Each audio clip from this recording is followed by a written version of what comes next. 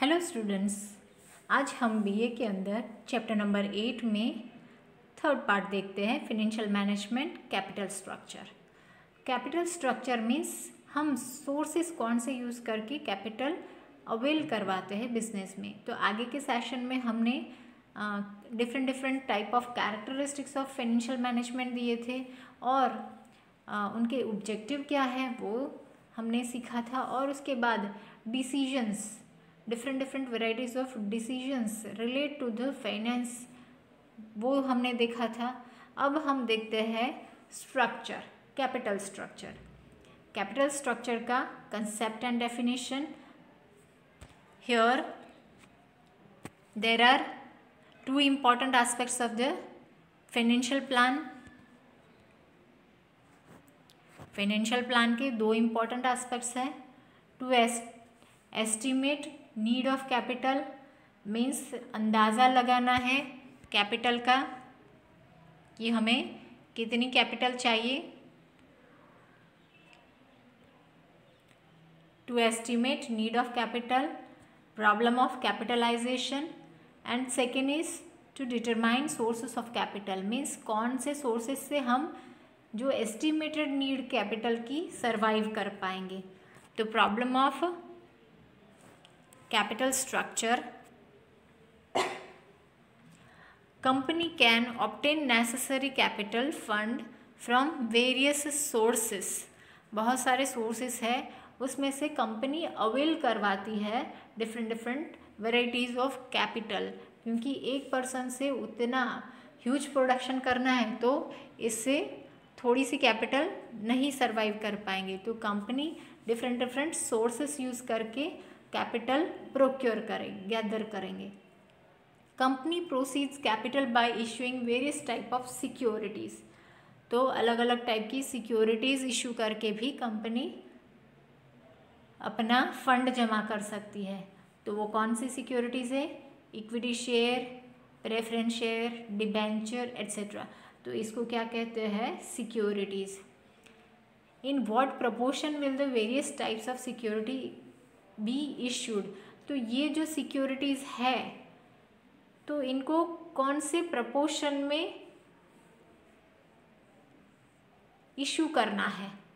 तो ये डिटरमाइन करने की ज़िम्मेदारी होती है फाइनेंशियल मैनेजर की। Capital structure means general meaning दिया गया है combination of different sources of capital like equity share, preference share, debenture, reserves and loan fund with reference to this according to Gerstenberg ये जो हमारे इकोनॉम एक महान पर्सन हो गए management guru Gerstenberg according to them decisions regarding type of securities are reflected in the capital structure of the company. तो हमें कौन सी कैपिटल कितने प्रपोर्शन में इश्यू करनी है जनरल पब्लिक को? तो वो डिसीज़न लेना that is a capital structure definitions दी गई है। सिंपल वर्ड में capital structure means combination of different sources utilised by the company to raise necessary capital तो to raise necessary capital means जो नया कैपिटल इंक्रीज करना है तो उसके लिए डिफरेंट डिफरेंट सोर्सेस यूज़ करके हम अवेल करवाएँगे capital according to Hoagland capital structure means proportion and magnitude of different securities issued and sources utilised by a company to raise its finance तो company जो डिफरेंट डिफरेंट सिक्योरिटीज़ जो है, उसको issue करके different different sources के through वो finance raise कर सकते रेज करना मीन्स बढ़ाना। पैसे का जो जत्था है सप्लाई है बिज़नेस में इंक्रीज करना। नाउ कैपिटल स्ट्रक्चर के कैरेक्टरिस्टिक्स हम देख लेते हैं। First characteristics is of simplicity means जो कैपिटल स्ट्रक्चर है, वो सिंपल होना चाहिए। Easy in terms of administration means उनको रिटर्न भी देना पड़ेगा ना। जैसे कि हमने शेयर्स इशू किए हैं तो शेयर्स के बदले में शेयर होल्डर को हम क्या देंगे? डिविडेंड देंगे। डिबेंचर्स इशू किए हैं तो डिबेंचर होल्डर को हम क्या देंगे?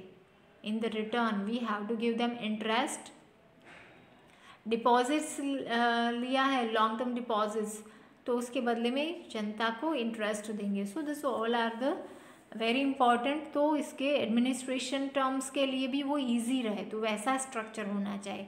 If lesser type of securities are issued तो कम से कम सिक्योरिटीज इशू करेंगे तो ईजी रहेगा structure profitability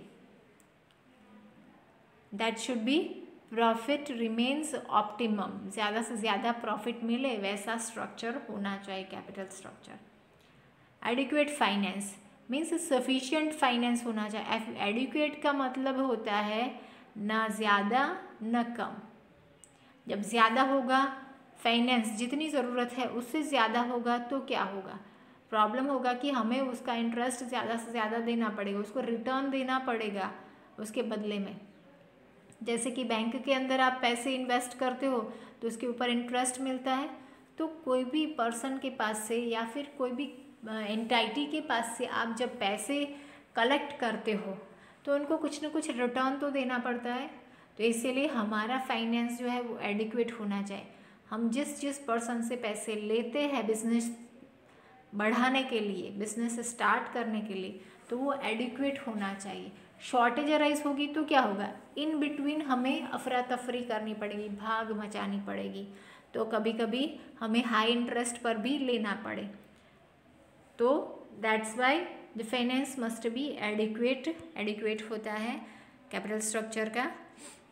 Then flexibility means can be changeable according to the circumstances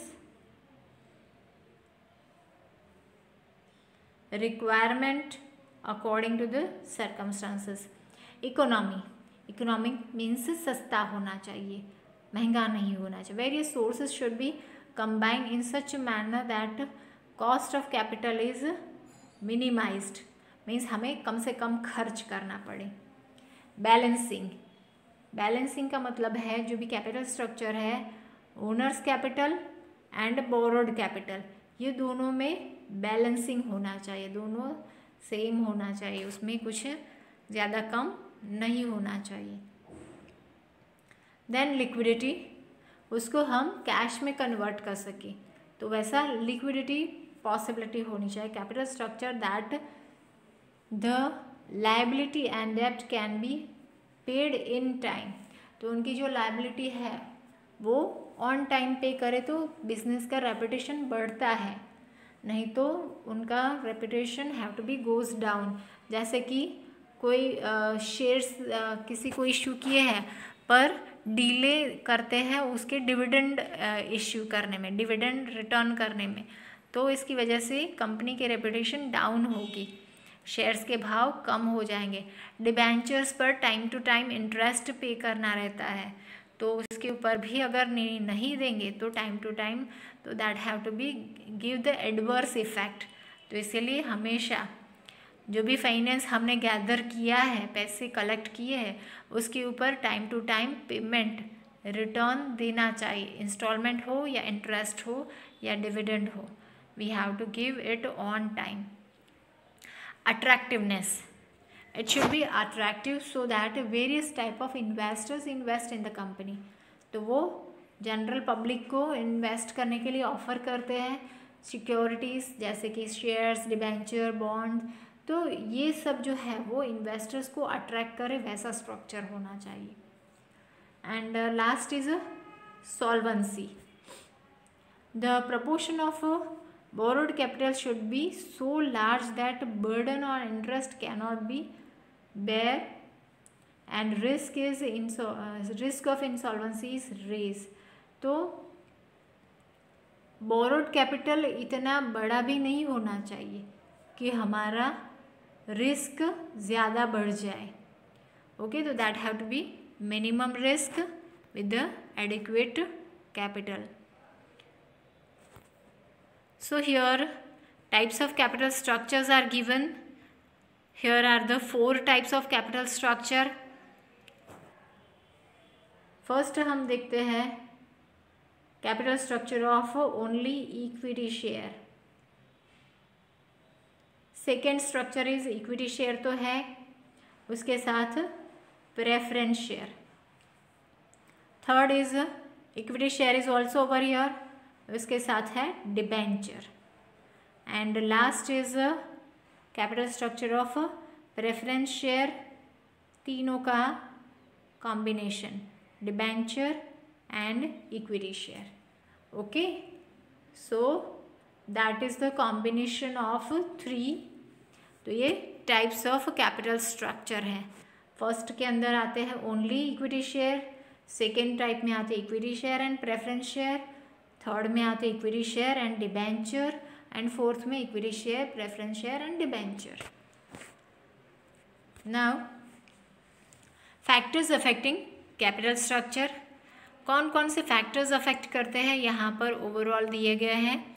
Internal factors and external factors internal factors में type of business size of business estimation of business income nature requirement of assets.